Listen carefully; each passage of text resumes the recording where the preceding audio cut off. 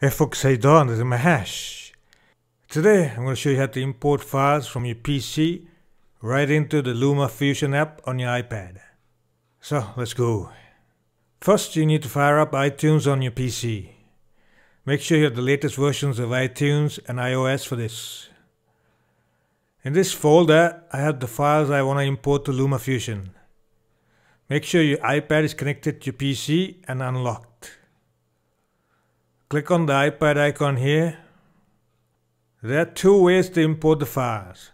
First method is click on this file sharing tab here. Then choose LumaFusion from the list of apps with file sharing enabled. Now simply drag and drop the files into this area here. Second method is click on the Photos tab. Check this box Sync Photos down here, just choose the folder with your files in it.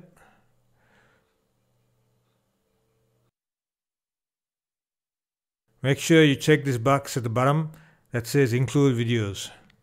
Then click apply at the bottom and then you see this bar at the top showing the progress of the import. To access the files from LumaFusion, you need to click on photos from the pull down menu here. Then go to synced albums and you see your photos there. Just drag them into the timeline and start editing. If you use the first file sharing method to import your files, click on the three dots here, select Import Media, click Files, and then choose LumaFusion folder, and you'll see them there. Just click Select at the top, and then choose the files you want, and then select open and bam, it's done. That's about it. Thanks for watching. See you later.